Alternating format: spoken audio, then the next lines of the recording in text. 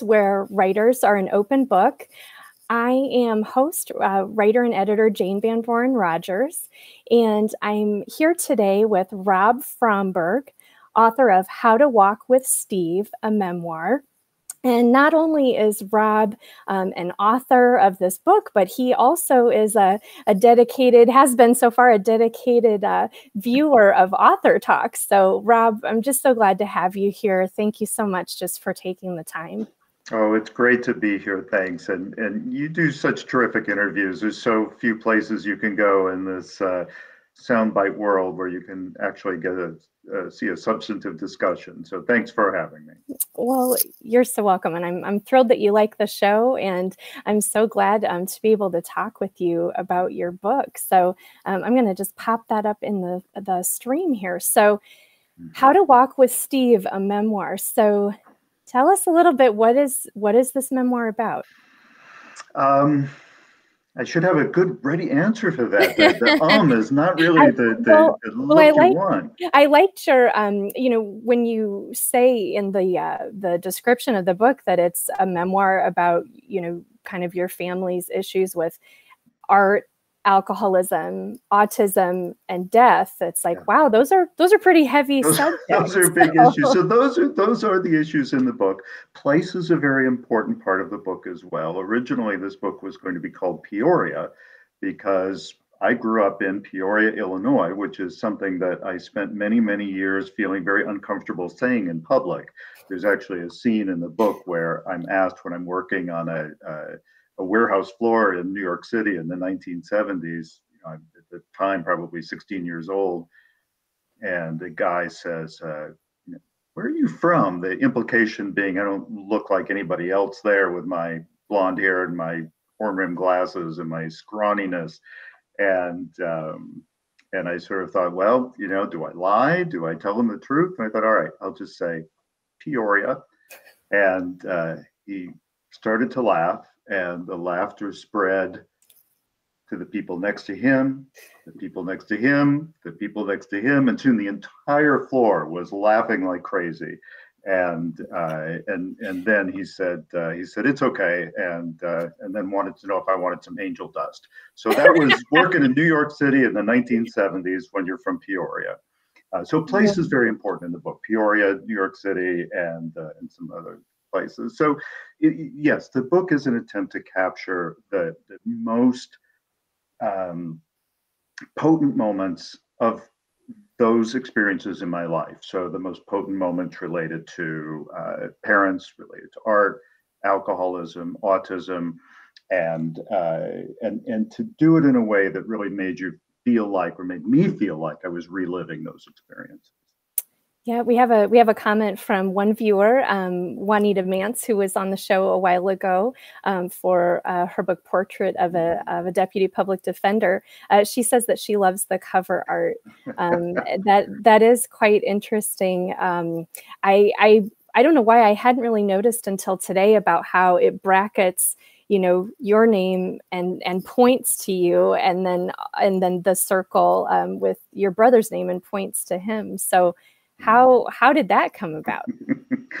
the uh, cover was designed by an enormously talented young man named Kevin Breen, and I'm sorry, yes, I am in the point in my life where I call people things like a young man. Um, I feel that uh, way too. So Thank you for validating that. Kevin was also the developmental editor of the book, enormously talented guy. And, uh, you know, we said, what should be on the cover of the book? I said, well, you can send over some family photos if uh, if you want. And and he his reply seemed a little skeptical about that. that.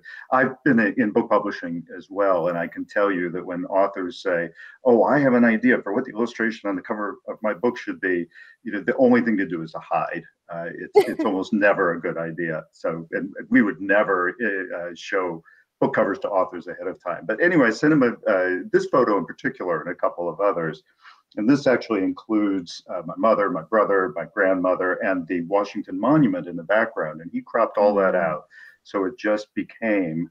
Uh, me trying to hang on to Steve as he's uh, trying to get away, which is his absolute standard pose in those years. He was always trying to get away. And somebody pointed out to me, I hadn't even noticed it, that I actually have a uh, a rabbit's foot hanging from my belt loop in this picture, and and I, I, remember that vaguely. I guess I felt like I needed a little, a little bit of luck, uh, but this is this is walking with Steve. In those days, was like this. Walking with Steve today is a little bit different.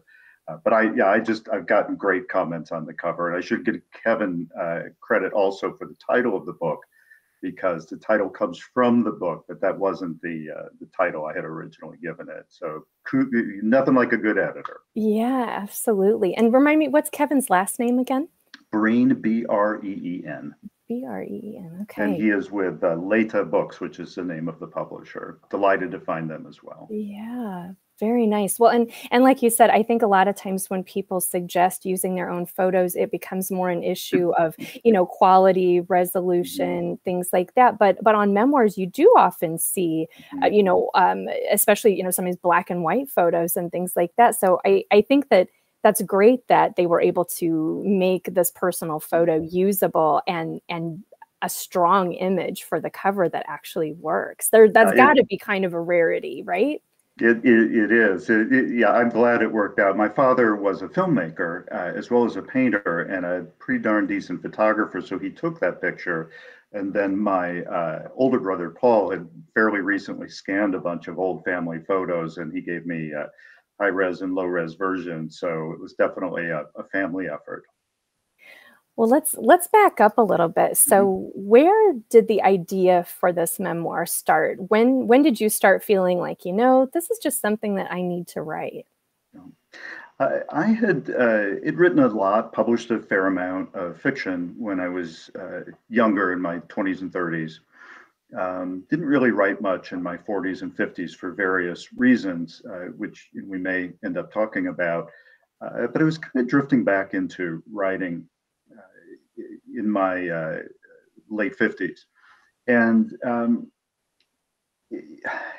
and and I was you know I was writing a, things that felt like sketches. They were they were sort of okay. They were sort of interesting, but I had the sense that I was avoiding something. Mm-hmm. And then in a in a way on a separate track, I just and I, I know we all have the sensation of just having piles and puddles of, of stuff around our house that needs to be tidied up. And, and that's what it felt like to me. You just have these memories and scenes and moments that were almost all really uncomfortable. Uh, just just sort of hanging around and and I thought you know just just as an exercise let me try to write each one of them. As as simply clearly and and concisely as I can. And maybe that will be a way of kind of packaging them up, tidying them up, and and in a sense putting them in a container. And and I just wondered how that would feel. It was like spring cleaning, essentially. Uh, and I didn't think of this necessarily as a book to begin with. And I'd always, a lot of my writing had been quasi autobiographical, semi autobiographical. Um, but at the same time, I always had that sense of, of I was avoiding something. I was avoiding telling the truth, essentially. And so I thought, mm. just for me, let me give it a shot. Let's see what I can do. As embarrassing as it is, as as uncomfortable as each of these episodes are, let me just try to witness them very, very carefully. And at a certain point, I I felt like things were I proceeded pretty much chronologically and you know it started to hang together. It started to to uh, you know after 20 30 40 50 pages of manuscript you know i thought oh I, I, can kind of see a shape of this. So at that point i thought well maybe maybe this is a book. Um, mm-hmm. but it's it's uh, uh, but it really started as just a, an internal exercise. There's there's so much to unpack in what you just said. I, mm-hmm. I know that I uh, I definitely relate as a writer to having the piles and the various folders and notebooks and scraps of paper. And so when you said that, that was just really validating for me about the piles and the papers and the because mm-hmm. sometimes I felt so badly about like, oh my gosh, I need to get this all together. I need to, you know, type it in or get it scanned so that all these things aren't just sitting around in my basement getting lost or because you know then you can sometimes find those real gems you know when you start to look through that stuff and go hey this is something i can you know build something around And the other thing that stands out to me is when you say that you were writing fiction and then that as you were starting to you know as you were doing that you were starting to kind of write these you know kind of vignettes and sketches about about your own life and that that kind of started to bleed through in your writing and i know that was definitely a theme that came up last week when i spoke with uh, ronit plank about when mm-hmm. she comes back and that was something that she mentioned as well so can you talk about that a little just about when when you start to feel the autobiography bleeding through into the fiction sure um, I I think most of what I wrote as a younger person um, was was very autobiographical, and I think that's very typical. You start writing, you're a teenager, you, you, your own experiences seem to be the, the most important experience of all, and no one else has ever had this experience, and so that's just what you tend to do. Um, I, I went to uh, Warren Wilson College, the MFA program for writers there, and, and I was a fiction writer in that program. And one of the, the real pressures I felt, uh, one of the ways that the, the, expectations of the world presented themselves to me, including at Warren Wilson, was um, well, if you're going to write fiction, then here's what fiction looks like. Uh, you know, it looks like this, and and you have, you have main characters and they develop and there's conflict and there's plot plot oh my god is there plot? Big capital p. And um, you know i just i don't feel like i was ever that kind of a fiction writer. I think i was more i would have been more comfortable as a poet frankly um, but i just I, i'm sort of limited in that way uh, i didn't feel like like um, i had that that uh, uh, way with language um, and eventually I just thought, well, there's this very narrow range of what I can do. And so I will just stick in that very narrow range. And it was not terribly plot oriented, fairly autobiographical um, fiction. And I kind of got away with that for a while, got along okay. Um, and, uh, but then at a certain point, I just stopped writing. And, uh, and, and there are a lot of reasons for that the, the easy reason we all cite is kids. Oh, you know, you got a couple of kids, that takes all your time, and oh, I'm working a job, and those are those are, you know, but there's a lot of validity in those uh, explanations, but it was something more than that, and I think ultimately it was this. It was if I was in fact going to write about myself, about my own views, then I needed to be much more honest about those views. Mm. And so when I started to get back into writing, um, and this was my, my mid 50s, um, I wrote short pieces and and uh, but they they felt very slight to me. They felt like I was still sort of missing the point. So ultimately, I just wanted to challenge myself and say, all right, if this is what you do, then you need to look more closely. You need to see more mm-hmm. directly, and in particular, you need to be more honest. And and so one of the goals I set for myself is I am going to embarrass myself. Every page I want to embarrass myself. I'm not embarrassing myself, I don't think I'm doing what I should be doing here. I don't feel uncomfortable if I don't feel embarrassed. So that was kind of the process of saying, all right, you're going to write about yourself, write about yourself. Now, interesting thing is, since writing this book, I've continued to write a lot. And now I am not writing uh, much fiction. I am more writing nonfiction, but it's it's it's much much less self-focused. And you know if we have time we can talk about that. But it's just been a yeah. really weird journey of of not figuring out what i'm expected to do as a writer but figuring out what i can do as a writer. But even more to the point if i could just i mean it sounds silly but sort of be a better person be be a more gosh that's not silly at all. honest person. And yeah. i can use writing to do that. Um, so that that's uh, that's been been the uh, the journey well, I, I relate to that. I've I've written some short fiction, but I can also recognize that that was also heavily influenced by, you know, like you said, autobiographical fiction, heavily influenced by you know my own life and and its mm-hmm. events, and and then I also have written poetry, and I I think that there's something about poetry because, you know, it's more. I I think it's um more of a, a pure art form in a way, and again, it's almost like tapping into that artistic side of your brain versus the analytical side that it's mm. more like the emotion flows out and it's more about it's about the sounds and it's about the feelings and and all those things and so so there's times that in writing poetry i felt as though i'm i'm being more honest in a way than when I'm writing short fiction in which you're changing all the details and kind of cloaking it in anonymity and acting like it's not really about your life.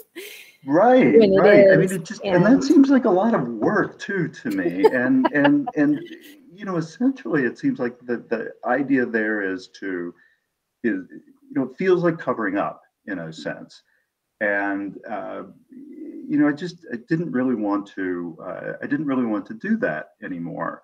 Um, and and uh, you know, in the old days, uh, used to talk about in literature classes imagination versus invention, and uh, and and that's one of the things that um, you know I've tried to look at more closely and be a little more a little harder on myself.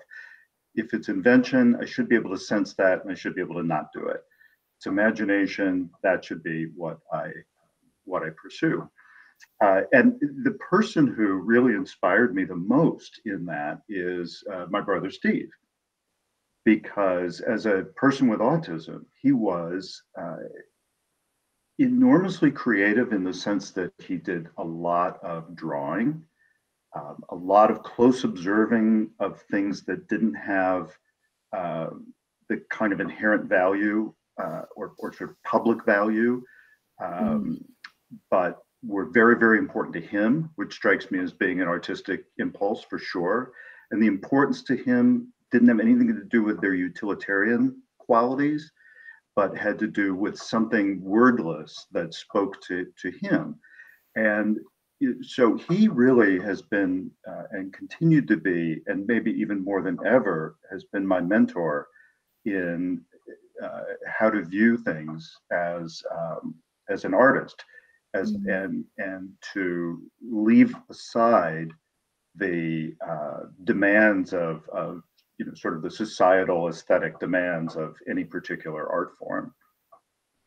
That's a really beautiful sentiment. And I, I think that is often, you know, what I've heard sometimes about being able to learn uh, more from people with special needs and that it often is a different appreciation of things and a beauty of living in the moment and embracing you know the simple joys of life which again sometimes you know when we get stressed all those things kind of get pushed out of the way and we forget to notice those details so i think that's a mm-hmm. really a really lovely sentiment that you shared and uh, i'll give you an example so when steve was I don't know, uh, maybe seven, eight years old. And at this point, he would just be starting to speak. So he was nonverbal until he was about eight. Mm. Uh, but you know, eight through about fifteen, he was a uh, he drew like a fiend, and mm. one of his favorite subjects were school buses. So he would stand outside and watch all the school buses go by in the afternoon, and he would go home and he would draw these they were side views, uh, two dimensional, almost like diagrams of the school buses. But his attention to detail was exquisite. I mean, he didn't draw, he had a bit of a shaky hand when it came to lines and lettering. Uh, you know, somebody like somebody almost uh, you know, uh, younger than he was. Um, but boy, oh boy, he got the shape of the windows, the number of windows, the shape of the hood, the, the lettering on the side, and there'd be little tiny decals that would say the manufacturer of the bus line, for example, and he would get that, and he would cut them out, and he kept them in a uh, a plastic uh, box, and so he had at one point probably a hundred or more of these different school buses, and so you know you just you ask yourself, well, you know what what do you take away from that? But you know, and and I think that for him, he what he adored was the regularity, but the subtle differences. So he loves McDonald's, for example, because every McDonald's is the same, but every McDonald's is a little bit different. Mm-hmm. And um, he loves uh, uh, maps for similar kinds of reasons. Uh, and um, and and so so what was the value of that? Well, the value of that is that it satisfied something. I am assuming. I mean, it, it's it's highly presumptuous. I, I have to admit to say that you know I know what he's feeling, but the best mm-hmm. inference I can make is that there's a level of comfort in that, uh, and and in that comfort is you know what maybe I would call beauty. I think also there's a, a need there. So he needed to capture that regularity and have it mm-hmm. with him in black and white in a box in his house. And that too is something that I think is a, an artistic impulse. Uh, and, and I think the most important thing I've learned from that is, you know, why school buses? Why not school buses? So we all have weird things that interest us. Just you know weird questions that we have as we go through the day. So yesterday my question was why is it that in these chairs that you and I are sitting on, the the uh, different levers that we push and pull to make it go up and down or back or forth are different on every single chair. And so every time you go sit somewhere, you have to uh, find different levers and experiment with them. And why can't that be systematized? So right. normally that would be something that I wouldn't actually say out loud. It would be something that would just sort of flip through my head and I would censor it and say, nobody actually wants to hear that on a, uh, a, a one hour show about authors talking uh, or about authors writing. And, um, uh, but for Steve, that kind of thing is, is paramount to him. It's central in his mind. It's total, gets total focus from him. And so, if we all have little blips and bits of things that interest us, whether they be shapes or colors or phenomena, the, the what I can learn from Steve is to seize those and to look at them very, very closely and to give mm-hmm. the experience of them their due. So that's been, uh, from a, a, writing standpoint, what I've learned from him. And, and I must say, then the conversation about writing becomes much, much different. You're mm. not talking about am I writing poetry? You're not talking about am I writing fiction? You're really, the thought process is more about the experience of moments and sensations, much like you describe uh, the, uh, uh, the, the process of, of writing poetry. Mm.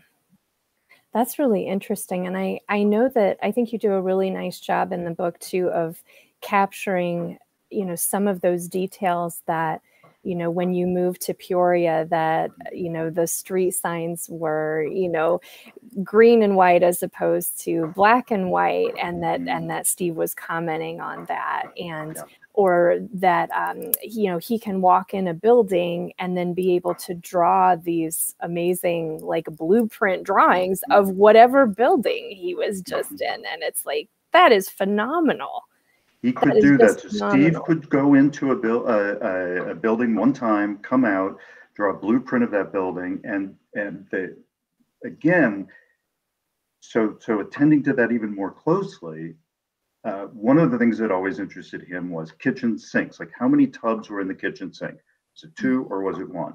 The shape of the toilet was very important to him. Which way the doors would swing was very important to him. And to this day, if I say, uh, Steve, you know, we just uh, visited my son Daniel's new apartment, and he'll say, How many uh, tubs are in the kitchen sink? And he'll ask about how does the toilet have a tank or is it hooked directly into the wall? You know, these are still very, very important things to him. And, you know, why not? I think I think that's lovely. Whatever I mean, isn't that what writing should be? It's whatever presents itself to you is important is important. And, and if there's one place you can go to fend off the, the, the dicta of society, it, it should be when you're writing. Now, the irony, and it's a cruel irony for Steve, is that, um, you know, I don't want to paint too beautiful a picture of this because this is also uh, the root of, of you know, a, a really, really anxiety filled existence when you don't know what the world expects of you and you're constantly trying to um, navigate your sort of hazy understanding of those expe- expectations while still being true to what motivates you. Again, I'm drawing some inferences, but you know, I've been with him for so long. I, you know, I know what anxiety looks like in him, and and he's a and, it's a very, very difficult way to be. But is that not what writers go through as well? Uh, you know, we we we don't necessarily just slide perfectly into roles in society, and uh, and and so you know, uh, knowing Steve, being with Steve, is today just really the almost the only thing I think about when it comes to uh, uh, the creative process. Oh, interesting. And I, I'm glad that you started to allude to the difficulties a bit because I think it's important, you know, just that we talk about that some too. And even even just in that cover image, again, just seeing you can see the the tension and you can see the that you're, you know, you're trying to keep him with you. And and so can you talk about you know kind of some of the challenges of of growing up with an autistic sibling and and how you know how you tried to manage that? Sure. Well as you can see here and as i mentioned steve was always trying to get away. And um, you know sometimes i think about that just to digress momentarily. I mean, you know how many of us uh, walk into a party or the first day on a new job or maybe the 230th day of your job in the morning and you're seized with one desire and one desire only turn around and leave. And so i wonder if that isn't part of his uh, his hyperactivity but he was he was just a very very hyperactive kid. He ran i never saw him walk until he turned boy maybe 16 he mm. ran everywhere he went, or he would sit and do things like listen to the same 15 second part of the Beatles' Day in the Life uh, mm. over and over and over again, lifting the arm of the turntable and putting it back down. Uh, and so going out in public was was you know awkward. Uh, you know, if you went to the movies, you may or may not sit there. Um, and probably more likely than not, he would not sit there. He would go running off in the, the middle of the movie. Uh, you know, going to any public place was uh, difficult. And so, one of the things you really have to kind of realize or, or, or get acclimated to is this idea of, of are you embarrassed by this or are you not embarrassed by this? And my parents were great. I think they they um, were were very comfortable uh, or as comfortable as you can be with this is who he is, this is how he behaves, and if the you know our neighbors in Peoria don't understand it, then they don't understand it. Uh, but they're more mature and older than I was, so it's a little bit different when I was. Uh, so I was uh, two and a half years roughly older than Steve. So mm. it took a little more understanding when a uh, kid in the neighborhood would come up and say, "Your brother just did this weird thing," and and you know you'd be a little embarrassed, but but then pretty soon it becomes more a matter of uh, wanting to defend him and wanting to be mm-hmm. the uh, the big brother and the protector. And that's a, an interesting dynamic too in a, a household where somebody re- has special needs. Um, I mean, of course, the attention is spent on that person. Um, mm-hmm. So as I mentioned, I have an older brother, uh, myself, uh, my parents. Of course, they were focused on Steve, and um, you know that wasn't particularly a problem for me. I always felt like I got uh, plenty of attention, uh, but it was more you, know, you kind of saw the wear of it, uh, the wear of, of constantly. I mean, if you think about how tough it is just to, to have a toddler running around or a puppy.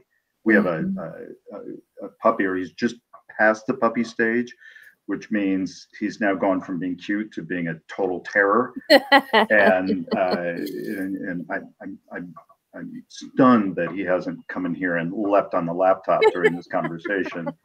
Uh, and and you know to have that all day long is rough when you have a toddler, but to have it with no, I mean, my parents didn't know it was ever going to end, and in fact, you know, they died before it ended, uh, before the hyperactivity ended.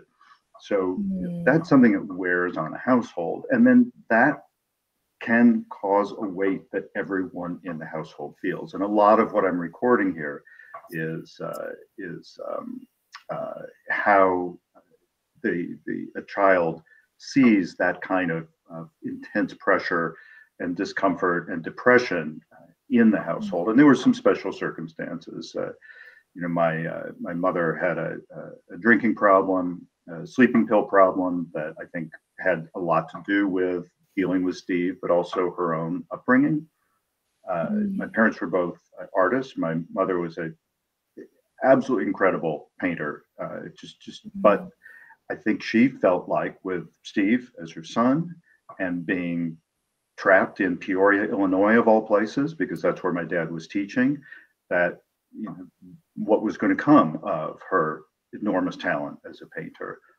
Um, my father was a, a, little more relaxed about things, uh, uh, but you know he too, um, I think, couldn't avoid the, the stress of having this uh, this son who required so so so much attention, and so a lot of what I'm witnessing is is what it's like to see that on a day to day basis.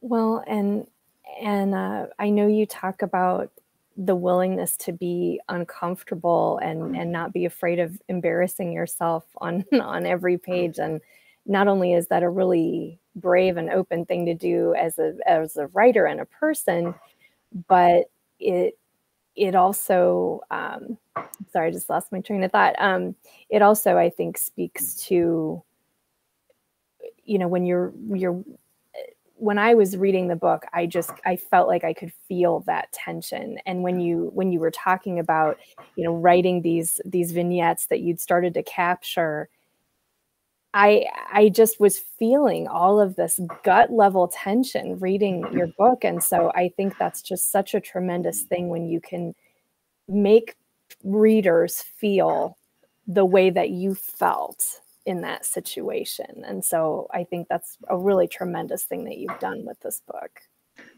I, appreciate that. The the editor and, and one of the uh, people who wrote a blurb for the book, uh, they keep and the, the publisher as well. They keep saying now now a lot of this is really funny too. You know you can't forget that a lot of this is funny. In fact, the, the one of the blurbs uh, is from an author named Valerie Block who wrote a number of, of fabulous novels. Uh, one of my favorites is "Was It Something I Said," and uh, and it, she wrote a long uh, uh, series of comments about the book, all of which focused on the the humor of it. Somebody being trapped in a situation they have no way of, of understanding. And, mm-hmm. uh, and just feeling a little lost, and and the kind of the absurdity of the situations, the absurdity of the jobs that I worked, um, and uh, so, uh, you know, one of my favorite authors is a, a, woman named Halle Butler, and her first book, uh, Jillian, was called by the Chicago Tribune the Feel Bad Book of the Year. and, uh, and and so I sort of and I thought I took that as a, a fantastic compliment. And so there's definitely some feel bad parts of this, but the feel bad parts are short and then they stop and then maybe there's another one and it stops. But they're also i think you know looked at from the distance of time they're they're uh, uh, i think they're pretty funny. But the distance of time is something i, I hope you don't mind if i talk about this for a minute. Yeah. we've been talking about the book uh, and the the scenes in the book and um, you know as i said when i started this i really wasn't thinking book book. I was just thinking let me just write out these scenes and see what they look like. Um, and um, the memoirs I read, the memoirs I respect, uh, usually, as, from a point of view standpoint, are, are written from a distance. So there's the more informed adult viewpoint and knowledge base and experience base that reflects on past events. And then in some points, when you've got a scene, you're within that scene, you're very much experiencing the, the tension of that scene. But then at other times, um, you know you can say well you know mother grew up in this uh, uh, environment and the history of that place was this. And and all of that is is rich and uh, and and wonderful and edifying. Uh, and i just chose not to do any of that. Um, i mean not, none of it. I i thought um, you know and not because I view any of those things as being bad things, um, but my in, that just wasn't what I was interested in. I was just interested in capturing moments at at the time. So there's a very little distance in the book throughout. It starts when I'm uh, my earliest memories. There's a gap in the book uh, uh, where I stop recording things when I'm about um, I don't know 25 or so, and then it picks back up uh, in the uh, maybe two or three years ago. Um, and and they really the, the every instant in the book is meant to be in the moment. And so, if in the moment there's some assessment of the situation, some reflection back, then that would be there. Um, but there's no authorial voice that I'm at least, well, there, there can never not be an authorial voice, but I, I certainly don't try to create it. So it's almost like court testimony. This is what happened. This is what happened. This is what happened. This is what happened. And then you don't want the witness to explain what uh, anything means or give a, any kinds of uh, excuses or, or reasoning. Just tell me the facts. What happened? So it's sort of the ultimate Jack Webb Dragnet book. Uh, now, now, I don't know. I don't know how many people anymore really even get that reference, but. well, that's that's really interesting though of almost like a, a court reporting style and yeah. and one thing that i noticed um, and you know i mentioned to you earlier was just that um, off uh, not on the interview yet but uh, that the first part of the book is written in present tense mm-hmm. which is often hard to pull off with you know all of these events that are past tense but I think you writing in present tense, it really took me into those childhood moments with you.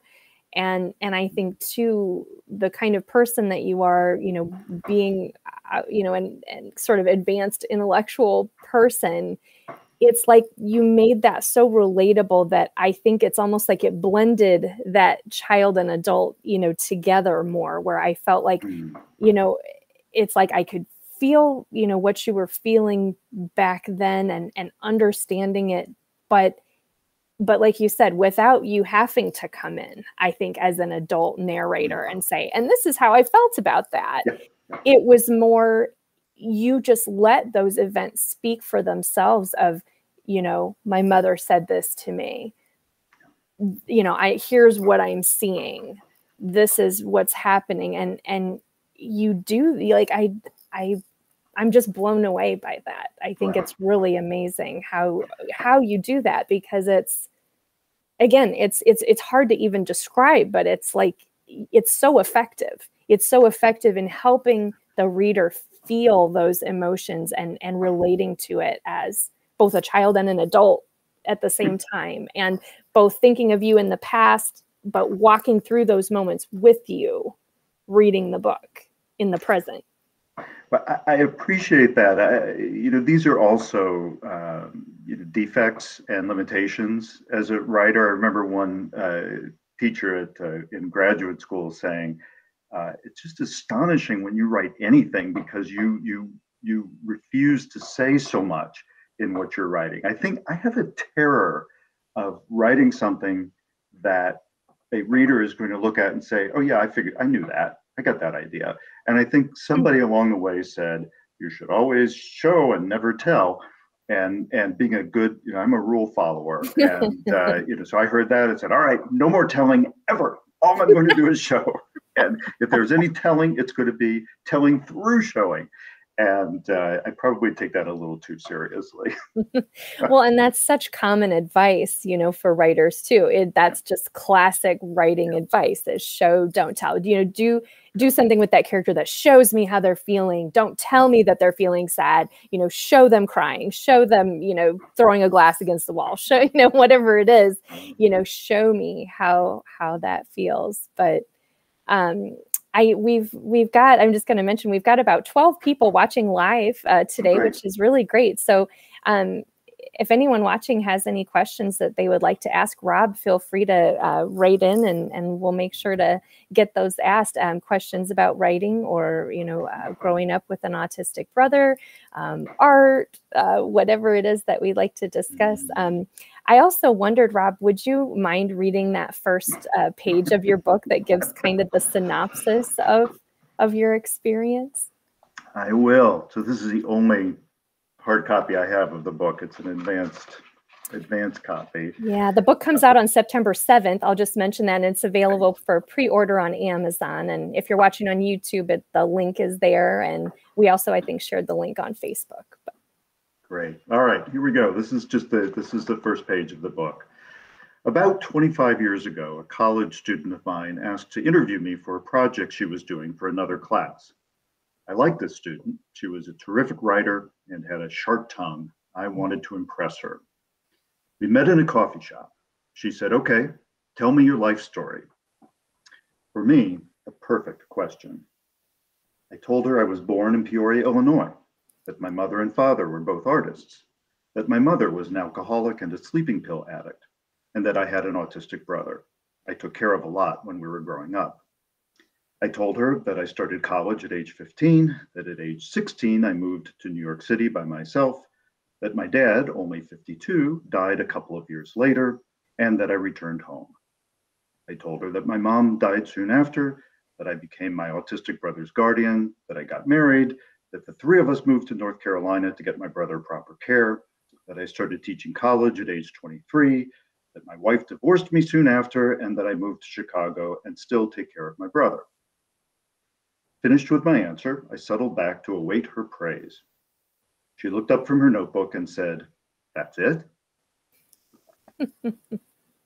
and the book actually is a response to that. I thought, you know, that that seemed to me to be an entirely reasonable reaction she has. Like, that's it. That you're not telling me anything there. You're just giving me a bunch of, you know, a bunch of, of uh, uh, you know, not even facts, just just sort of a list of. It's like a your resume. Uh, tell me something more. And at the time, I thought, well, what do you want me to say? And then I thought, all right, actually, I, I, I think I'm going to take about 250 pages and I'm going to answer her question. Like, is that it? Well, okay, no, actually, it wasn't it. I will now tell you what it is. Mm.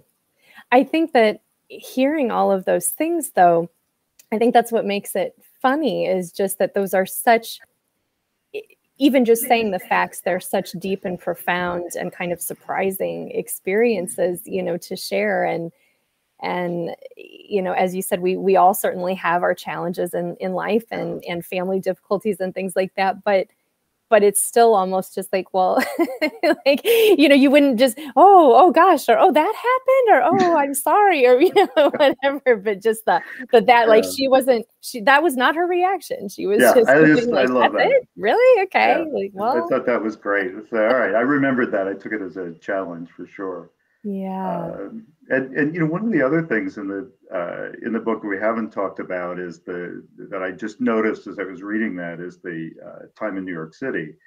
So when I was when I lived in New York, uh, it was uh, roughly 1975 through 1977, mm. and that was for any any music fans watching. Uh, that was the the dawn of the punk rock movement in New York City and uh, I lived on the Lower East Side. I lived just a few blocks from CBGB, and uh, mm-hmm. you know, they didn't believe in carding people in those days. So if you were 15, 16, wow. 17 years old, you could go to Max's Kansas City and CBGB.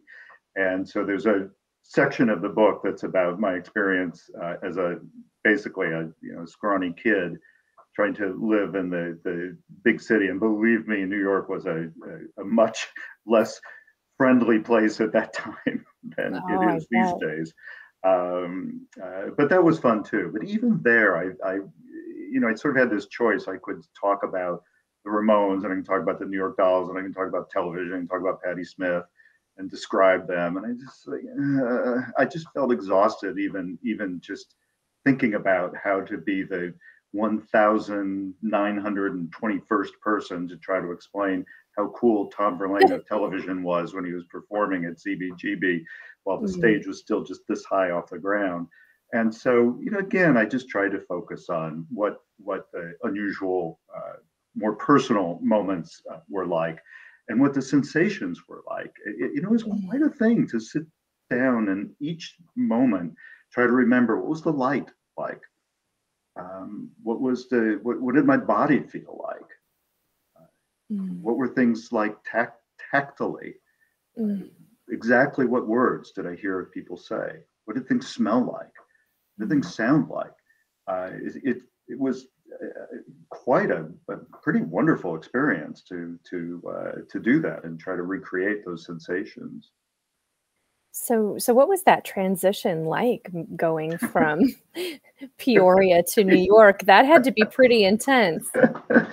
well, New York was a big part of my family's life. Um, my father grew up in Brooklyn, and he had a real. Uh, he was born in 1925, so he had an honest to goodness, uh, play stickball in the street, Brooklyn boyhood, and uh, and we would go back to Brooklyn and New York to visit his family and the city every year.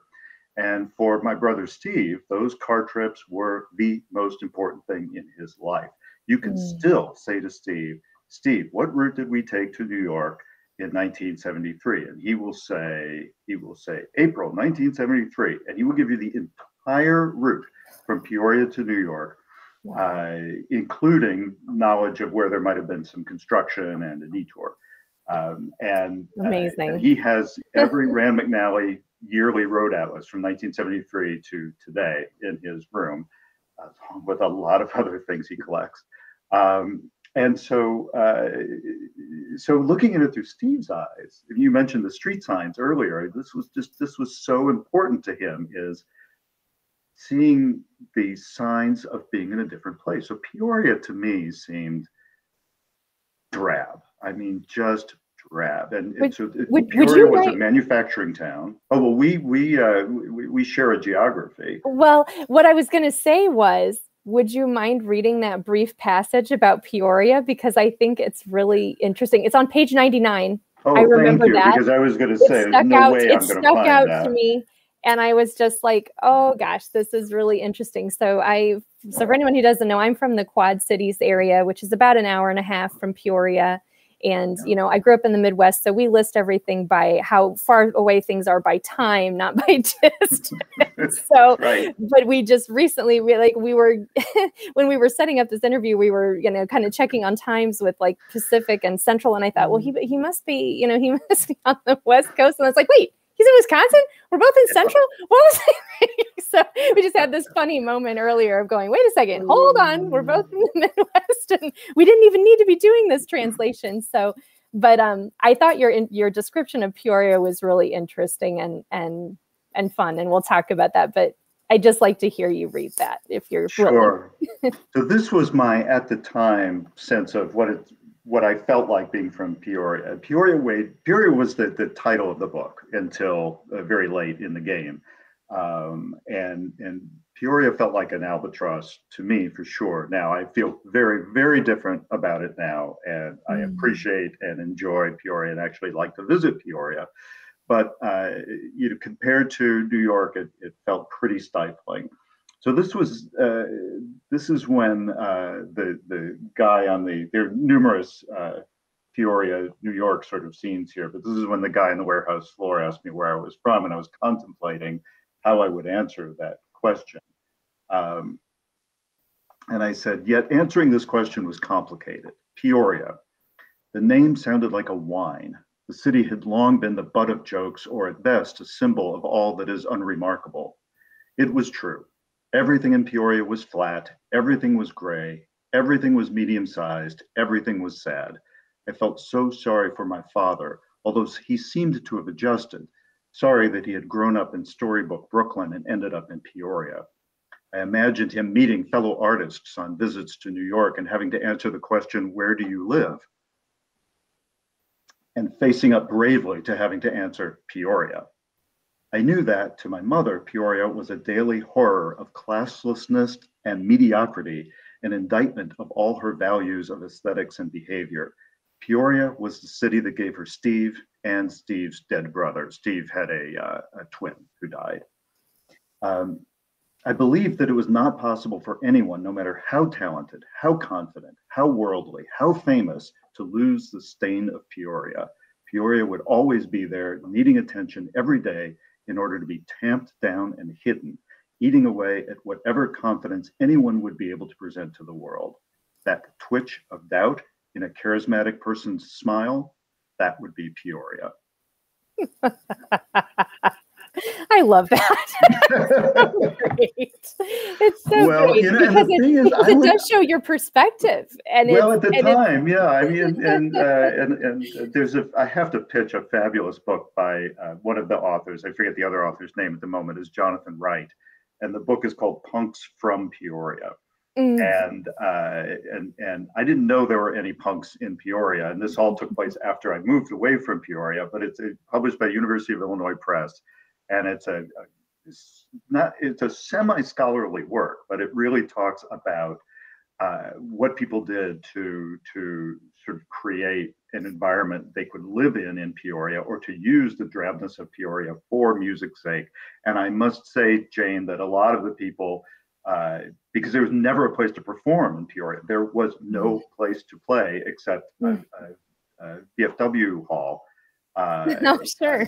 they would go to the Quad Cities and play and try to get some of the great punk bands from the mm-hmm. Quad Cities to come and play the VFW halls in Peoria. So anyway, that was oh, that was Peoria at the time, and uh, right for my brother Steve, uh, he loved Peoria. He loved everything about Peoria. Moving with him to North Carolina was so painful for him.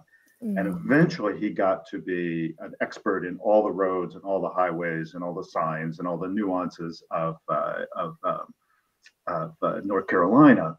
But he loved Peoria, but he also loved the contrast with New York. So he's the one who was focused on what is the how different is the color of the blacktop in Brooklyn? How mm-hmm. different is the color of the street signs in Brooklyn? to be honest, those are the things I loved about it too. And so that was a real bond between the two of us is you know, that that those differences were were supercharged and super exciting. And for me, that meant I moved there. Wow. Well, and and the when you also talk about Peoria as how and, and, like you said, you write about it several times in the book, but when you mention about how like everything is medium sized and everything is flat and almost like and and when your mother makes the comment about um, you know a certain sculpture that it would succeed if either it was really small or huge mm-hmm. but not in you know not medium and then you're saying you know everything there is medium yeah. and the, so the, the thing is that if you want to live long you need to be medium sized you know that's like we're a medium sized planet medium sized people live longer. Medium is pretty good, actually. so I've come to a sort of a different way of thinking about things yeah. in life. Well, and I, I know when you write about Peoria too, you also mention about your your classmates and and your when your teachers asking like how many people work at you know uh, cat caterpillar and how many people work you know at you know some of the other common large Hiram Walker, Pabst yeah. Blue Ribbon, yeah right th- those places. And then when you say you know my father works at bradley university you really get the sense that there was kind of a feeling of like okay so i'm not part of this sort of blue collar manufacturing world. Like i'm a little different. And so did you definitely feel that way growing up? That was a, a huge part of growing up. Um, fortunately, I had a, a handful of friends as I got a little bit older uh, who, thanks to Facebook, social media, and the internet, I can still interact with and have a great time interacting with. Uh, one friend in particular, uh, named Dina, now Dina Tarlin, uh, her older brother Rodney knew all the hip stuff. I mean, he knew the coolest, most obscure music, and he was like our pipeline to cool things. So Dina and I, we were Andy Warhol, David Bowie, uh, um, uh, Clockwork Orange. Uh, you know, we the, we were we were in with the, the cool stuff of the the early '70s. But by and large, it was really it was really rough. Um, I didn't want to invite people over to our house. This is a little bit earlier in uh, uh, childhood because it was filled with this weird kinetic art and abstract art and weird paintings and and you know I just the questions I got asked seemed seemed I seem to just confuse people, and and I think in, probably in some way every single person in childhood feels like they're all alone. So I don't say that I had a different experience from anyone else, but that was the nature of my experiences. I didn't belong here. My mother felt like she didn't belong there. My dad was you know, on paper didn't belong there, but seemed pretty comfortable. Uh, even though he missed the New York Yankees and uh, and and the uh, well the Brooklyn Dodgers at the time, but uh, yeah. Uh, so the, the, baseball and the, the arts weren't quite as built up. But so my dad took it as an opportunity, and this I think is just just is part of a lesson that I hope kind of it shows that I learned through the book is you know, he was in a place where we did not have uh, a strong uh, arts community, um, but there was an arts community, and he found it, and mm. uh, and he would bring Merce Cunningham, uh, Stan Vanderbeek, um, uh, um, uh, come on, the geodesic dome guy, Buckminster Fuller, uh, Len Lye, so experimental artists, uh, experimental filmmakers, uh, Buckminster Fuller, one of the great geniuses of our time, Merce Cunningham, John Cage, and they would come, he would get them to visit Peoria on their way from Chicago to St. Louis when they were uh, touring. Oh, and so no. these were people who uh, we had in our house. Oh, so, you know, picture me as a, you know, whatever, an eight year old playing chess with John Cage it was i mean it was wow. so so that really is and that's kind of how the book resolves that's the final scene of the book is is so you're different but on the other hand um, i had john cage in our house and i played chess with him so you know that that wasn't so bad actually to be different and and my brother steve different but he too has really found his way in the world. Well, COVID has thrown him for a loop like like very few loops a person can be thrown for. But he's found a, a, a, way in the world too, where uh, he can be true to the things that give him pleasure, have enough structure that um, uh, he gets along very well. And uh, you know, this is this is uh, you know kind of what we all do is we take the the sharp edges of our childhood and uh, we don't necessarily s- smooth them off completely. We still appreciate the the sharpness of them, uh, but we can appreciate them in a little bit different way. Well, and I I also think too. I I hope that some of those perceptions maybe of of uh, midwestern you know metropolitan areas or rural areas or whatever um, that that those maybe have shifted a little bit i i can relate you know to a lot of people um, you know feeling, you know, like when I was in growing up and in high school and things, people thought similar things. I think about the Quad Cities of like, there's nothing here and there's nothing to do and there's no. And I know that you mentioned that at one point about, um, you know, your mother, you know, in the passage that you read about your mother feeling that way of almost like this is the most like anti intellectual, anti artistic area. And so do you feel that some of those perceptions of, of kind of midwestern areas have kind of changed or do you think that there's still maybe some some misunderstanding around that? I i, I wish i knew. I think with our our current sort of polarized uh, bifurcated society as uh, you know haves and have nots continue to diverge um, it's really hard to say how those perceptions uh, are registered these days.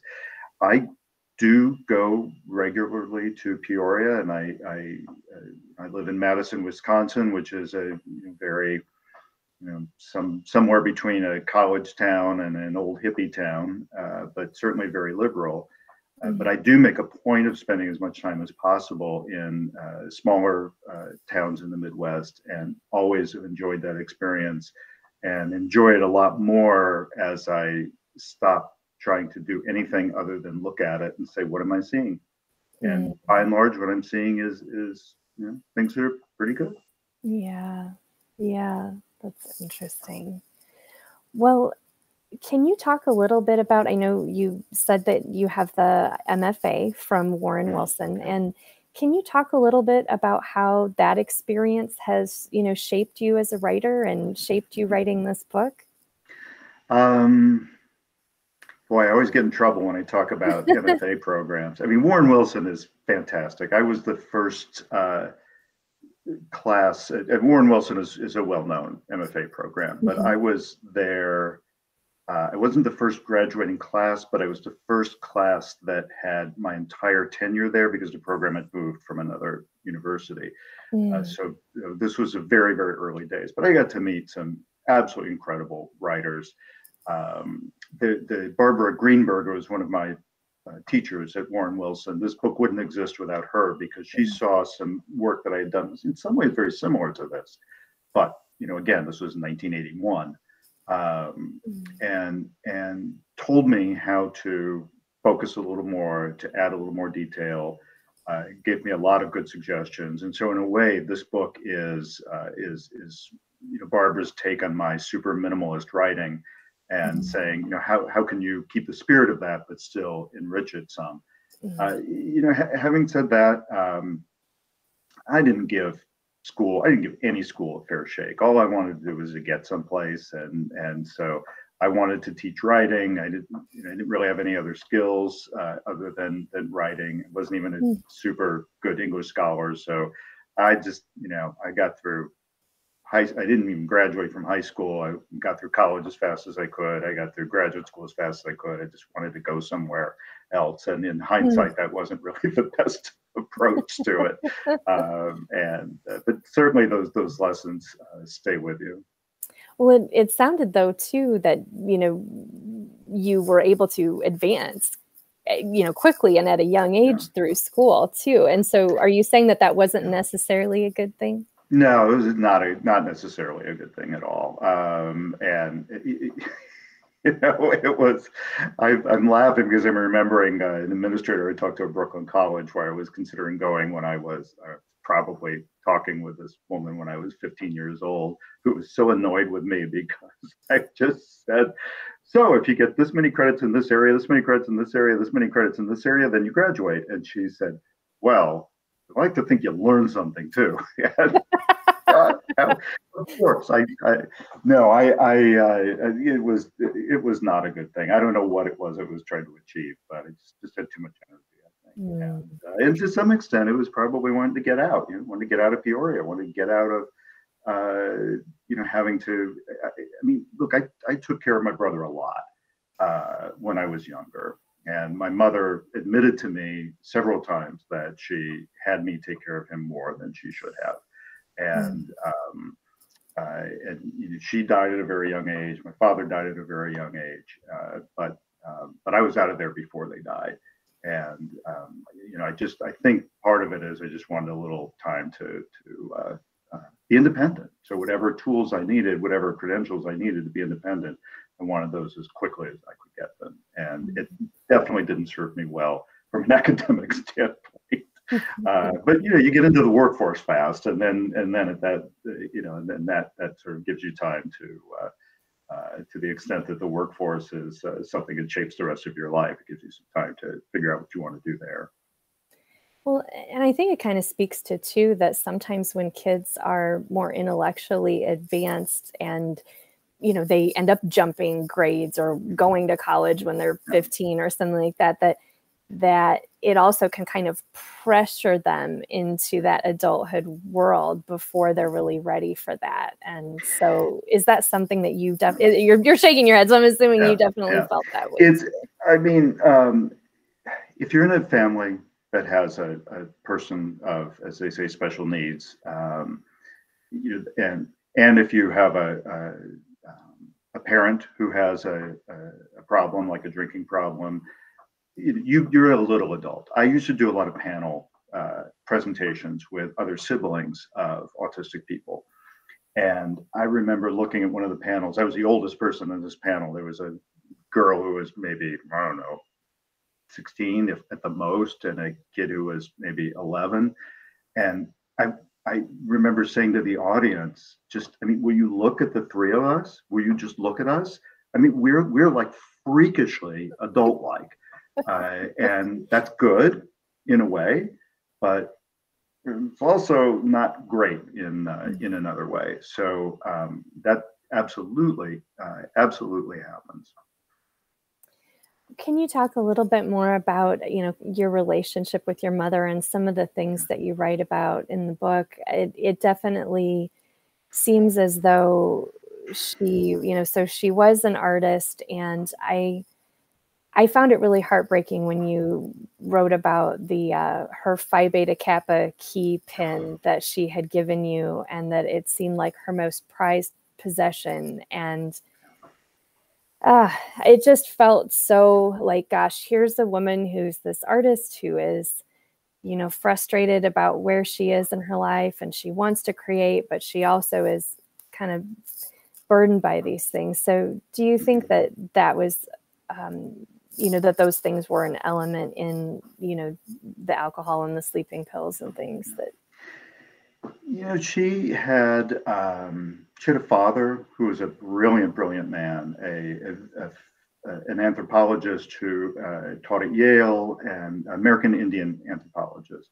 mm. and later went on to make a living as an expert witness in Indian land claim cases. And so mm. he was instrumental in winning back land to American Indians to, uh, in, in uh, to an extensive degree.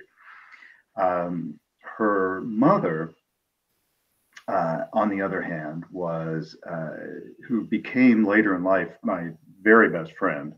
Mm. Um, but she was a very different kind of person. She was, uh, you know, a little bit secretive.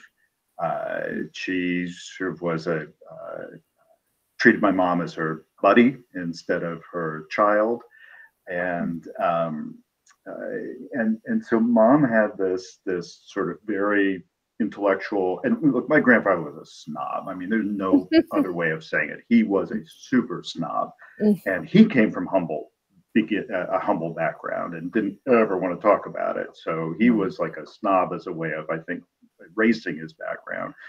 And so my mom had this artistic streak, not even streak. I mean, she was, she was, she was. It's hard to overestimate or overstate how uh, great of a painter she was.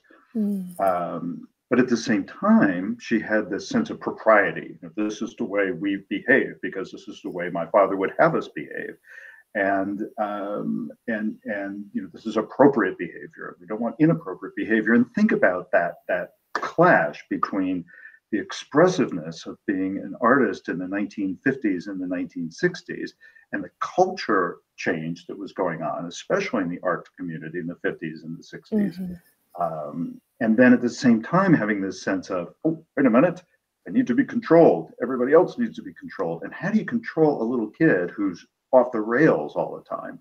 And so she just had a very, very tough go of it and, and never was able to work through those things. And so what I record in the book, unfortunately, in a way, has to be is just from the perspective of a kid who's seeing things that just don't make sense, that seem harsh toward him, toward me, mm-hmm. um, and seem constantly unpredictable and threatening, like something awful is going to happen any moment. And here's a sign of something awful. Here's something actually awful, but then the next morning it seems to not be spoken of.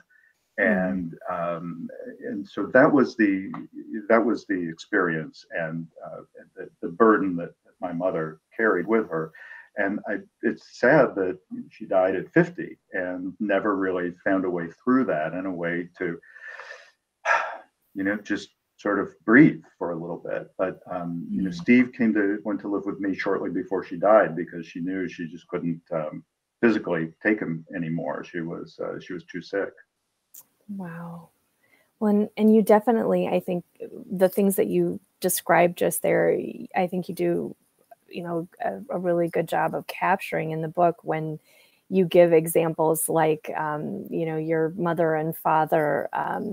You know, uh, talking about uh, the pronunciation of, you know, she's pronouncing the town Dubois and saying it's French, it's Dubois. That right. is the proper pronunciation. And your father saying it's Du Bois, like Du Bois. Yeah. People say Du Bois here. That's how it is. And, and yeah, he's saying, I should... think people from here can decide how it's pronounced. Exactly. And, and mom was like, no, no, the French pronunciation is the proper pronunciation.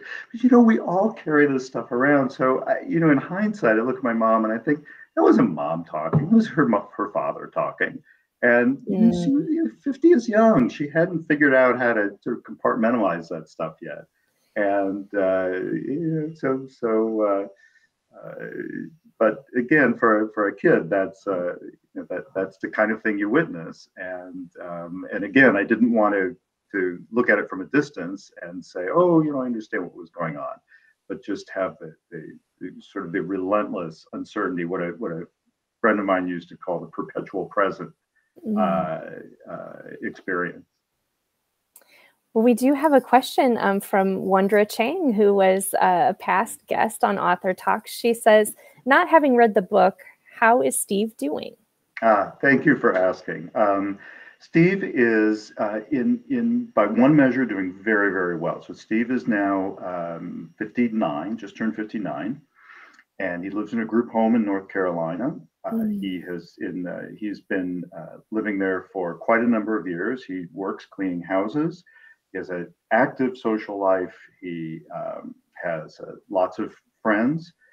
Um, but the last uh, two years of COVID have been just dreadful. So he calls me now on average three or four times a day, worried that all of the things that he used to do, he will never be able to do again. So he teased, he, and they're obviously being very cautious in a group home setting.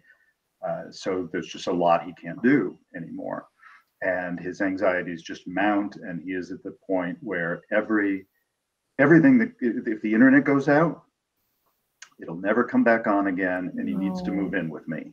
Oh, oh but they're having it, it, it's it's if a manager of a group home quits and needs to be replaced then all the managers are leaving and he needs to come live with me um, and it, it's just it, it, it's just been brutal for these past two years. I visited him just a, a, few weeks ago, and the visit wasn't that great because he had such a long list of things he wanted us to do. But then one day it rained, and so one of the main things that we need to do, which had to be outdoors, we couldn't do, and or, or and then as soon as we got home, he he called me and he said, "Oh, I feel so bad.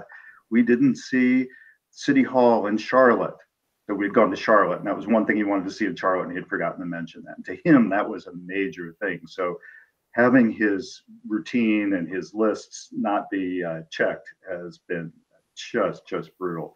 But in terms that he is he, he's in a great environment. Uh, there's a state-wide agency in North Carolina dedicated to autism.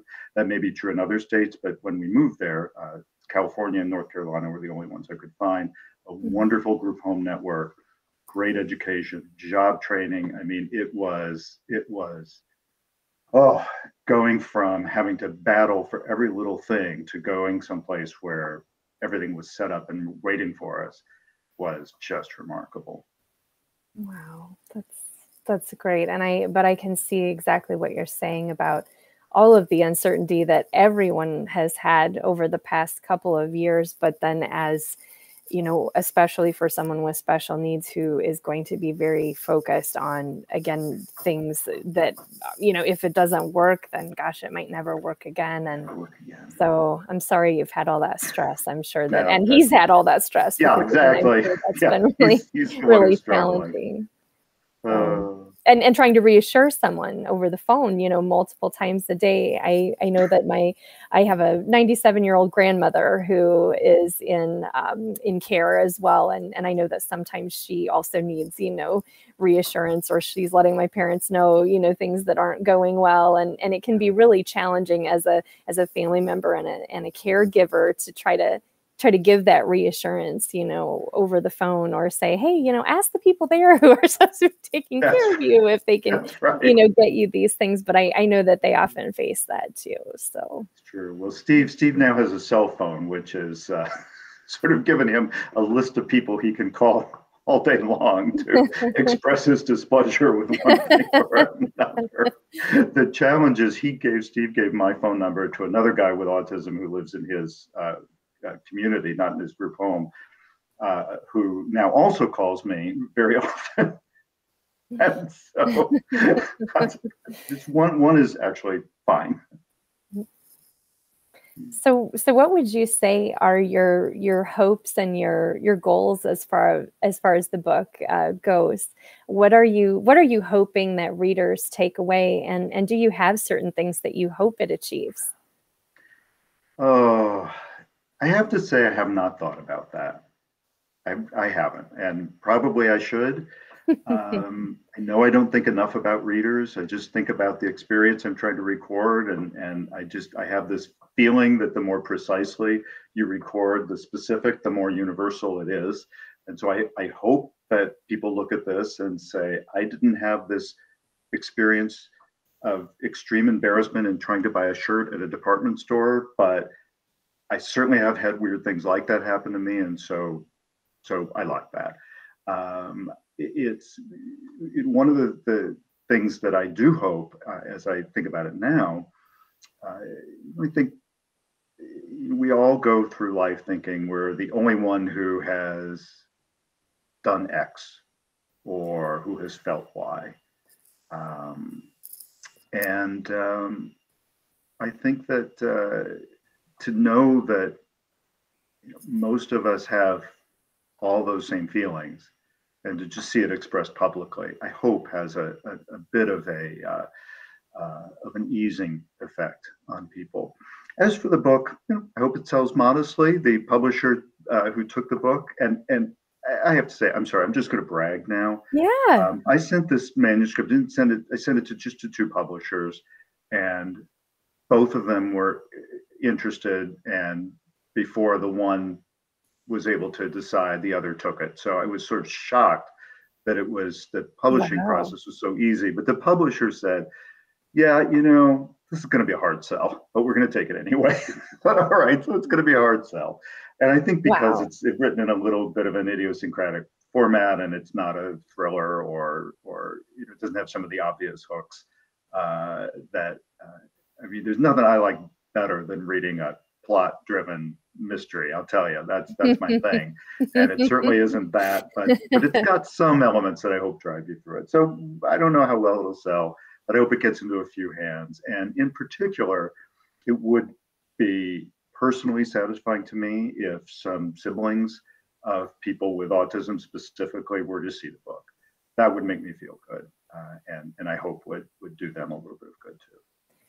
Well, my my next question was going to be your path to publication. So you just yeah. dovetailed perfectly right into that. So so did did you get did you have an agent pitching this, or were you pitching it?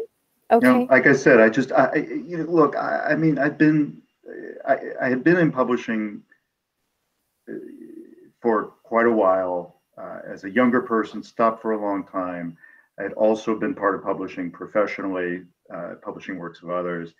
Uh, I mean, I, I, I, I think I might have sent it to an agent. That's a big like, sigh. Let's talk about that. uh, it just what a mess. What a problem. Everything is so hard. Why do we make everything so hard? Why is everything so hard? I mean, so I just said, look, can I just just send the book to somebody and they could just say, it's not that long. Just like look at it. Are you interested? Fine. If you're not, fine. Can I please just work with a medium-sized or a small publisher who just says, you know, yeah, this is a good book, and we kind of we have the basic. Uh, we we know the publishing process and and and um, you know, and I go online now and I see, especially on Instagram, I see, you know, these these gesticulating authors uh, doing Instagram reels about their uh, their writer's block and you know, and their their their uh, I don't even know what as a way to try to sell their book and get attention for their book, and it all seems so hard. Uh, so I just uh, maybe I'm just lazier, but mostly it's just no. I just don't feel like I have the energy for that anymore. I mean, I'm I'm you know going to be 62 in another year. You know, let's just I'll send it out. If somebody wants it, great. And if they don't want it, that's fine too. But I do find that the publishing world today is is in, in terms of uh, uh, periodical publishing is fantastic. I mean, I, I mean, who knew there would be so many interesting, energetic, fun. I mean, fun? No, literature. We're doing literature. We don't want to have any fun. But now to actually to be able to write a silly essay about, you know, Ringo Starr or Harrison Ford and send it someplace, and they go, oh yeah, this is funny. We'll publish it. I mean, that's just great. So somebody has figured out, not just me, of course, that you know let's just streamline this process let's have a little fun while we're doing it let's get things out as best we can and let's think of it as a process not as this work is the final work that will ever be published and it should be perfect. Um, I mean, as I was reading this to you, I thought, oh my God, I don't want that comma there. How did that comma get there? And you know, so I, you just have to you have to stop that. At, this, at least I feel like you have to stop that at a certain point. So that's my that's that's the the uh, explanation of the sigh. Well, what what gave you the impetus to just go ahead and say, I'm just going to pitch this to some publishers? Were was it publishers that you knew were open to non-agented submissions, or or did you just take a shot and go, eh, we'll just see what happens? You know, I probably I was just sort of learning how publishing works in in this era at that point because I hadn't been doing much for so long. I mean, I was in the typewriter, send it the copy out, and you can maybe send it two or three times until and then they return it to you until the edges are a little worn. You have to type up a fresh copy of it. um, and so I, you know, I think I went to Submittable and just looked for the who was looking for work, mm. and these two sounded uh, like pretty decent presses. Latah Books, the publisher, they're really sharp outfit. They they're operating mm. out of Spokane. They want to work with people who are not uh, sort of in with the in crowd, um, mm. and and so they and they do some really oddball, interesting memoirs, but they also do some some thrillers and some mysteries. Uh, and and the people there are just wonderful. They're not trying to make a fortune, but they are trying to make a buck, which I absolutely respect. Mm. Uh, and uh, it's it's just been a joy. So I just uh, you know maybe it's just pure dumb luck that I found them and sent it, and they saw it. Plus, I have to admit, I sent them a first draft. I mean, mm. when I finished this, like I don't want, I, I didn't write it I mean, I, I took care as I was writing it, mm-hmm. but it was a first draft, and I just didn't mm. want to look at it again. Like, I just, oh, this was painful enough to write. I'm just going to send it to somebody, and they were very kind to see that. Especially the last sort of third of it, you know, a lot of work, and they were very nice to see the possibilities and to come back with some yeah. super sharp developmental notes, and, uh, and and and we put it out.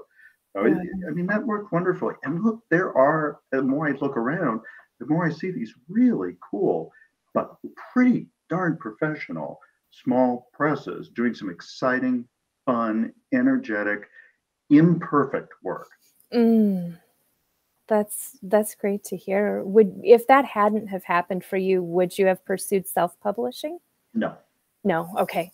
No, just okay. again, it's just energy. and just just okay. like I, I would have rather have spent the time writing. Sure. Yeah. Sure. Okay, that makes sense. It, and it would have sense. served its purpose. The book would have served its purpose for me personally, uh, even if it hadn't been published. We had one other question from uh, Wondra Chang. Um, so she says, you know, you were pseudo mature as a child. Do you think about what you missed out on and have you resolved that? Is that what your well, memoir is about? I used to think about it all the time, all the, all the, all the, all the time. And there's bits and pieces of it in the book. And uh, if any of my friends from grade school ever see this, do see this, uh, they'll certainly uh, kind of know what what this is all about. Uh, I was in a, a so-called gifted program for some of my elementary schools. Elementary school for us was, uh, you know, whatever one through 8 mm-hmm. and so this was maybe sixth, seventh, and eighth grade. And uh, I think all of us felt like we were uh, segregated from the quote unquote real world. And I, I, was haunted by what I felt I'd missed out on. I mean, I still feel that way. Like, I, you know, people seem to speak a language I don't understand. There's a part of the book where I'm trying to figure out what the, the verb uh, that started to be used at that point to party, trying to figure out what does that mean? Like, how do you do that? What do you do? Uh, how does that work? Relate and, to that. yeah, I, well, I, I, I, now figure it out that there are a few other people who feel that way. There's a scene in graduate school yeah. of a party of all these people who sort of barely knew each other. It's like, what, what, what are you doing? How do you, what, you're dancing. Why are you dancing? How can you be dancing? You don't know each other. How does this work again?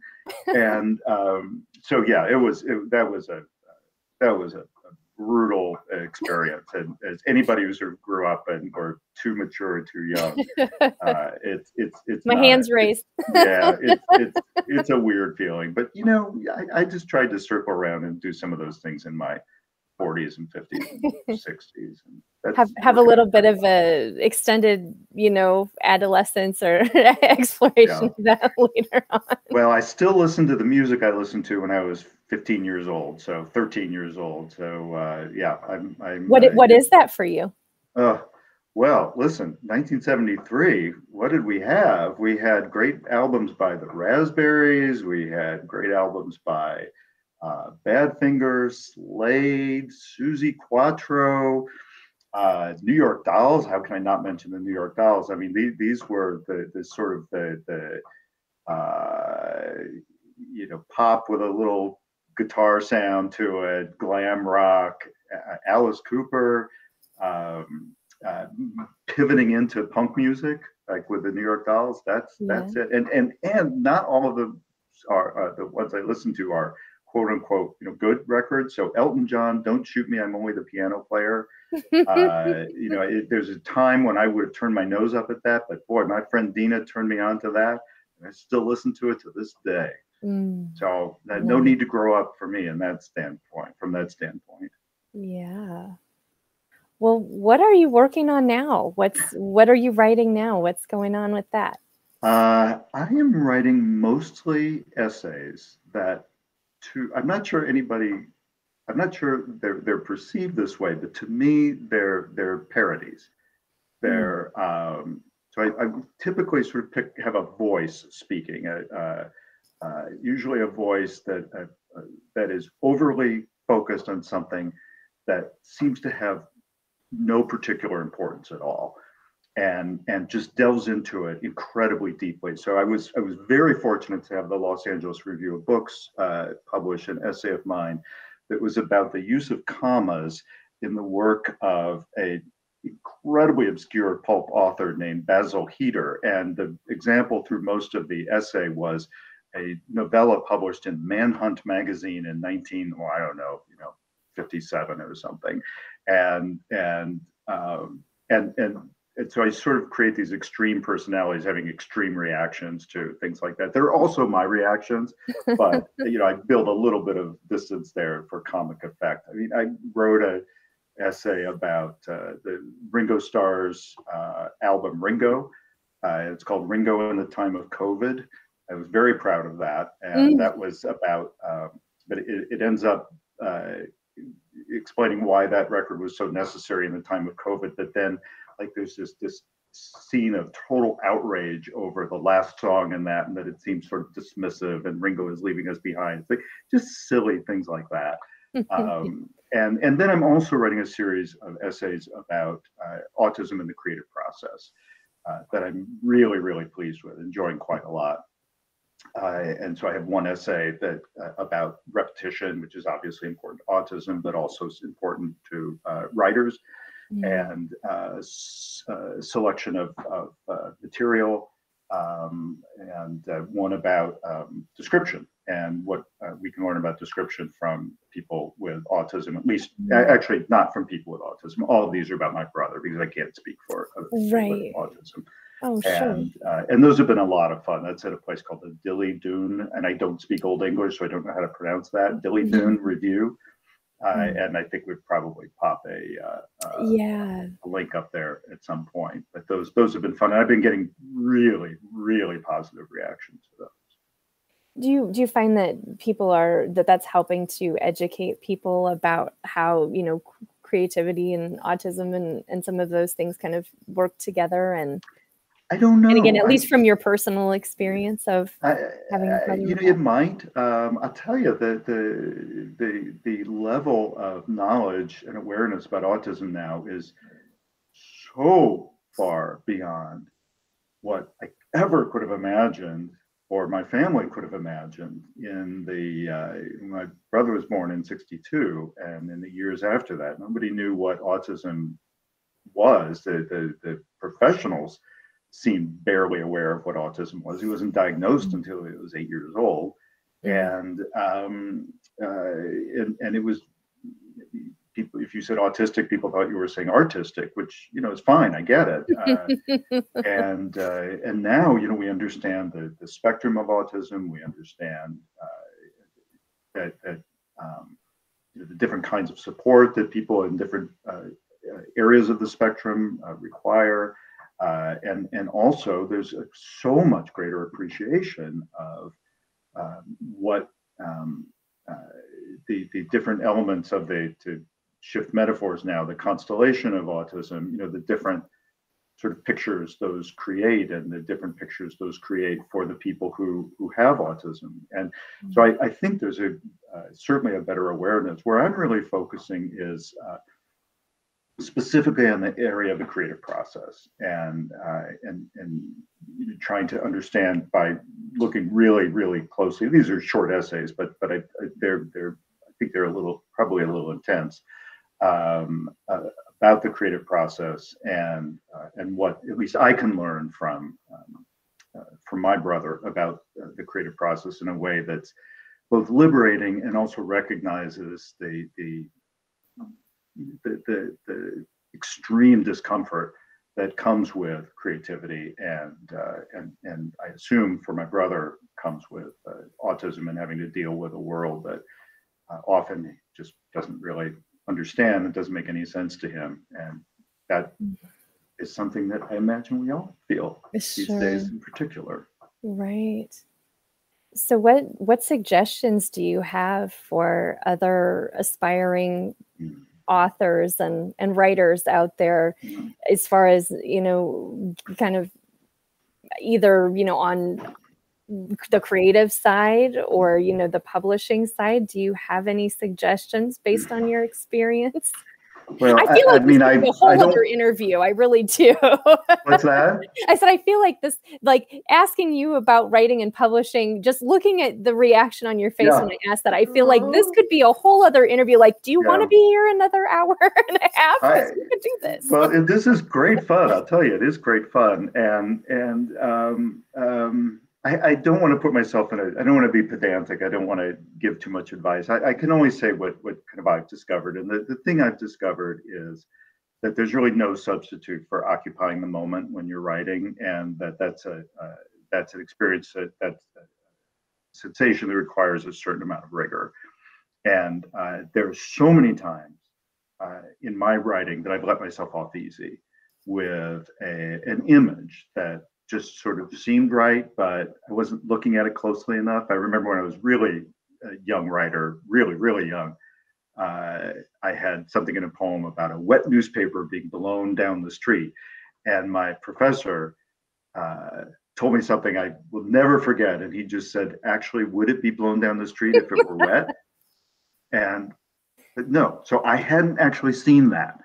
I hadn't occupied that moment and so that was that was a great lesson for me. And and that was a test as i was writing this and and it goes for in the essays i'm doing it's the same for thought. I mean am i thinking hard enough? Am i letting myself off the hook uh, mm-hmm. too easily? Uh, am i doing something that sort of sounds right? Or i mean this is the the other part of that is am i am i um, uh, um, to being conveniently forgetting something that I should be remembering? Um, or am I presenting myself to the world in a way I want the world to see me, as opposed to, uh, or my thoughts in a way that will make me seem super smart, rather than mm-hmm. just saying, well, wait a minute, what am I actually thinking? Let's focus on what I'm thinking and what I'm feeling. And I think writers, this this is actually a part where the internet scares me a little bit.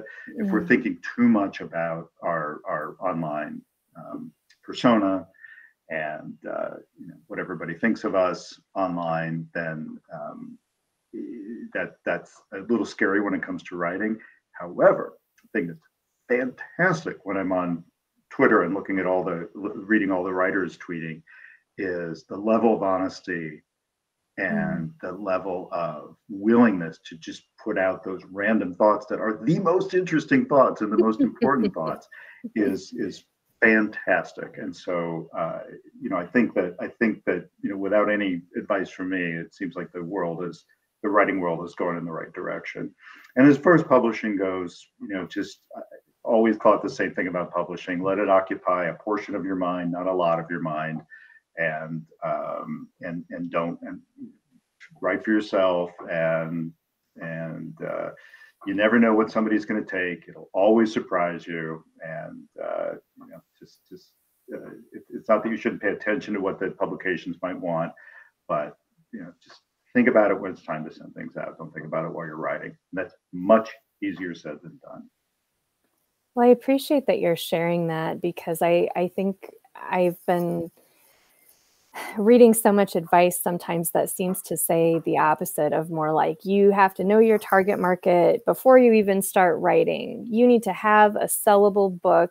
Like you need to, you know, almost like you know reach out to your audience and find out what they're looking for before you even write and i and i while i respect that advice on one hand i also think that from a writing perspective and from a more of a purely creative perspective mm. that is the most intimidating thing in the world like i have no idea what you know like yes you know you could skew to a certain demographic maybe like oh i know this book maybe might speak more to women and it might speak right, more to women right. from the ages of 25 to 55 or something but i mean that's a huge that's a huge range and so i that's just something that i personally find really intimidating. And so i appreciate that your advice is more like and i think it shows in your book. Hmm.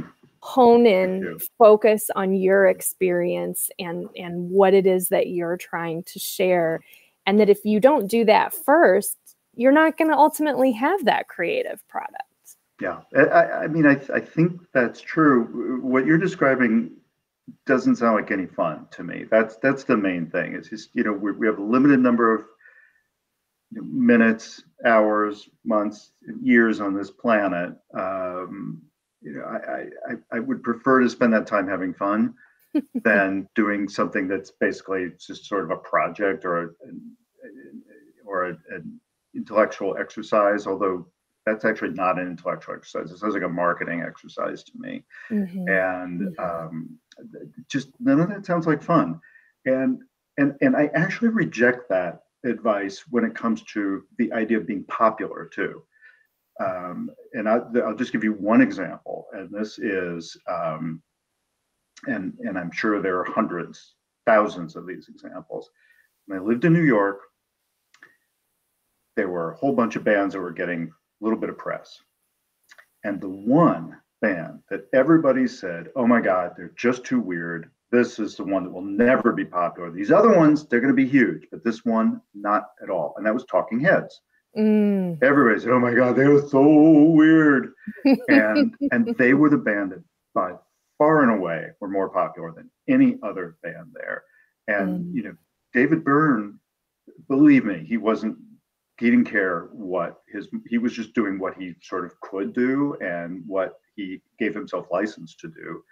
Uh, and uh, you know i used to sit at the same table with him in cbgb when there would be like 20 people in the audience or 30 or something. And he'd just be sitting there drinking light beer and just watching the band and no affect at all. Mm. uh, and uh, you know no black leather jacket hanging out with all the people uh, you know making crazy noises or whatever it is they did. um, he was just he was just a guy doing what he could do, and so I think that's a path to popularity, frankly. Mm. It kind of the not being afraid to just be yourself, do your own thing, and and like you said, and if it resonates with people, it resonates, and if it doesn't, it doesn't. And it sounds like that's a big piece of your writing philosophy it, it, it is, but again, I just I really try not to think about others too much. So um, um, I just I just is it is the made thing does the made thing seem to be working? That's that's about as far as I take it. The other stuff is just so baffling to me that, that I try not to think about it too much. uh, the irony is that in my day job, I I oversee um, uh, corporate communications functions, so um, I do actually have to think about that during my daytime job. I've worked in corporate communications as well, so I I relate to that. There you go. But yeah, I shut that off when I, uh, when I start writing. Although I did write, I do have a piece coming out soon that's called "A Secret History of Acronyms," which is um, a, a, a sort of a sort of fictitious, overblown view of what it's like to be in the room when acronyms are being hatched and developed and when they go mm-hmm. wrong. So, uh, so there's there's uh, there's even some some fun in corporate communications. Yeah. Oh yeah. There and there's and there's a lot of fodder, I think, that you know, for funny stories and yep. you know, things like that. And for sure. So I, I guess I just I see another comment, so I just kind of want to tap into that just just a little bit more. I know we've you know, I know this has been one of my longest interviews, I think, but we've had a lot to cover and there's been a lot of good things. So um so Wandra just mentions, um, you know, when you have a publisher, you're obligated to make your book a commercial success. Yep. And she's saying, you know, that she thinks about that, you know, when she every time she posts on Facebook. So, yep. so I do think that that as a writer, it is, you know, and when you're starting to study all these things and talking about building a platform and you know all that stuff it can be it can be really intimidating. And i think it can also feel a bit like you know I, I want to share my work with people and I want to, you know, connect with readers, but I also mm-hmm. don't necessarily want to feel like I have to be out there 24 7, posting on all the social media channels and, you know, doing videos and things like that. And I and I know that, like you said, there are writers who do that and, and they seem to enjoy that and that's more their thing. But do you also feel like there's space for writers who maybe are a bit more old fashioned and don't necessarily want to be quite as out there with either their personal lives or recording videos every day or? Um, I, I mean i hope so um, and and i guess i would maybe answer that in in suggesting there's a third way um, which is um, well, first of all, let me just agree that that you want to sell the book. You just mm-hmm. you, you have a book, you you want to sell it. I'm I'm here. I'm trying to sell a book. Uh, I've been working very hard to uh, to sell this book, um, and I also am trying to do it, and it's been a real learning experience, especially working with publicists. Uh, I'm trying to do it in a way that um, is natural and true to um, to to me. And so the uh, blinding glimpse of the obvious that I got on Twitter was that the most popular tweet I had was not uh, buy my book. It has some really cool scenes about New York City and the punk rock era, but was do people still carry pocket knives? so that was like I got so much discussion and so much conversation about that, and and and I was sort of interested. It's like, you mm-hmm. know, oh yeah, I was reading this novel. It's set in the 40s, and like all the men had just uh, carry pocket knives. Do people still do that? And and that that was something that that got attention. And so, mm.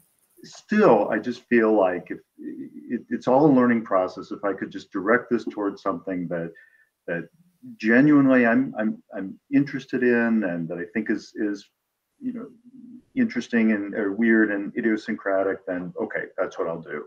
Um, and uh, and and the people who seem to use social media effectively to sell their books are uh, seem to do that uh, quite a bit. And um, I think all the marketing tools that are available and that you can get support uh, to execute to get your book out there that's what you got to do, and uh, and I, I think it's it's definitely worth doing. So I don't want to be snooty about this, but um, uh, and I think uh, a lot of energy is and a lot of attention and a lot of creativity and a lot of networking is involved for sure. Um, but that um, I I think that can be so fun. We've met each other. I've met some mm-hmm. very interesting people. Uh, it's been great. Yeah. Well, and I feel like your pocket knife example speaks to the idea of just being real online and yeah. just sharing something that is genuinely interesting to you. It's a question that you have. And so, and so then that opened up like a real dialogue with other people versus the, like you said, more that feeling that marketing pressure of more like, buy my book or here's my book or look at my book or or here's what I'm doing just being like hey you know what about this is this something that you know you relate to or is this something that you know interests you or or is this something that people do and and so you know it seems to kind of speak to that too yeah So, do you have any other, you know, final thoughts? Anything else that you'd like to share? I know we've covered covered a lot of ground. Anything? A lot of ground. But I just thank you for uh, taking the time. This is a, a rare opportunity to have a, a, nice long conversation, and and uh, uh, it's just it, it's fun to be able to chat. Uh, so thank you very very much, and uh, I wish you good uh, fortune uh, deserve good fortune in your, your interviews, your writing, and of course your corporate communications work. Oh, I I think corporate communications may be in the past more for me, but I ah. I so I so appreciate um, your comments. I so appreciate your time today and. Mm coming on and sharing the book with us and and also just you know sharing i think those common challenges that writers have with marketing and publishing. And like i said maybe i'll have you back sometime and we can do a whole other discussion. We could even have multiple people on and you know have a little uh, panel or something like that and and talk a little bit about that because there there's just so much i think you know breadth and depth to everything with marketing and publishing these days and and all of that. So I'm just going to give your book here another plug. So, Rob Fromberg, How to Walk with Steve. Um, it comes out on September 7th, but it is available for pre-order on Amazon, um, $9.99 for the Kindle version. So go check it out. It's a really interesting book. You will feel the tension as you're reading it. He crafts, you know, some really well-written vignettes about what his growing up life was like, um, both with his autistic brother Steve um, and his parents, um, who uh, were artistic folks that also had, you know, their own challenges. So thank you again uh, so much, Rob, just for being here. And um, I hope people will check this out and uh, go get your book, and you'll start hearing more from other people and and getting some of that feedback too. That's great. That's great, Jane. Thank you so much. I appreciate it more than I can say. You're so welcome. So, thanks everyone for watching Author Talks, where writers are an open book. Um, we are taking a quick break next week um, as it's Labor Day weekend, um, but then I will be back on um, September 11th with Ashley Renard um, talking about her memoir, Swing. So, thanks again for being with us. Have a great day. Take care, everybody. Thanks.